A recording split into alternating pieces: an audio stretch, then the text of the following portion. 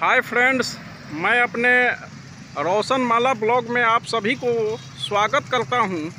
तो आज सुबह के साढ़े सात बज चुके हैं और हमें सत्तर घाट केसरी नाथ मंदिर के पास जाना है और हम अपने आज माँ के साथ जा रहे हैं मंदिर। तो रास्ते में ये राजा पट्टी है। आप लोग वीडियो में देख सकते हैं। ये राजा पट्टी है और राजा पट्टी ये गोलंबर है।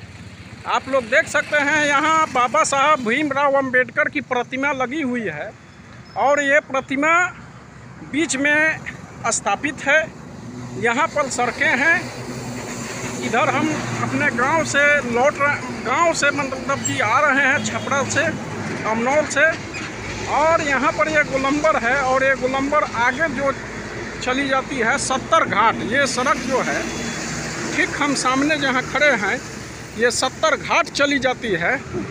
और अभी हम जिस प्रसंग को आप लोग को दिखाने जा रहे हैं, वो मेरा प्रसंग है कि जो 2020 में या 21 में जो बाढ़ आई थी, उसका नज़ारा हम एक बार आप लोग को दिखाना चाहते हैं।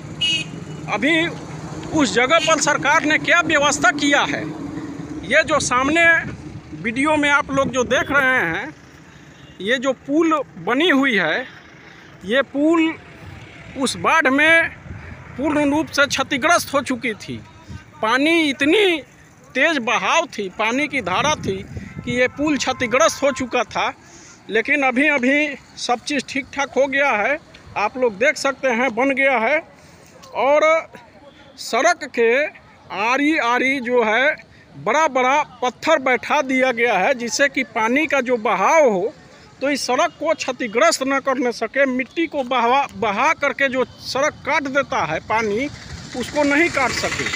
तो ये सरकार का एक बहुत अच्छा कदम है, आप लोग देख सकते हैं, जो पुल क्षतिग्रस्त हुआ था, वो आज बन के पूर्ण रूप से तैयार है। और इसका चौड़ीकरण भी हुआ है सड़कें जो पुल बनी है, काफ़ी चौड़ी सड़क पुल बनी है। आप लोग वीडियो में ये देख सकते हैं, यही वो पुल है जो 2020-21 में जो बाढ़ आई थी, उस बाढ़ ने क्षतिग्रस्त कर दिया था इस सड़क को।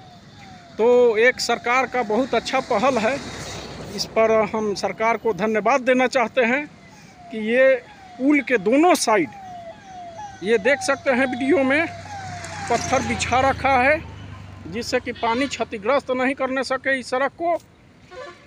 और पुल के ठीक विपरीत साइड में भी अभी पत्थर बिछाने का जो है सिलसिला चल रहा है। आप लोग देख सकते हैं ये वीडियो में जो पानी पास होगा तो इस सड़क को किसी प्रकार से क्षतिग्रस्त ना करे, पुल को क्षतिग्रस्त नहीं करे। इसलिए सरकार ने पत्थर बिछाए बिछा दिया है। तो ये एक सरकार का बहुत ही सराहनीय कदम है। मैं सरकार का सरकार को बहुत बहुत धन्यवाद देता हूँ और वीडियो में आप लोग बने रहें, ये वीडियो कैसा लगा, आप सभी हम इस इस चैनल को ज़्यादा से ज़्यादा लाइक, सब्सक्राइब, कमेंट करें और इस चैनल को आगे बढ़ाएँ। बहुत बहुत धन्यवाद, सब लोग का आभार।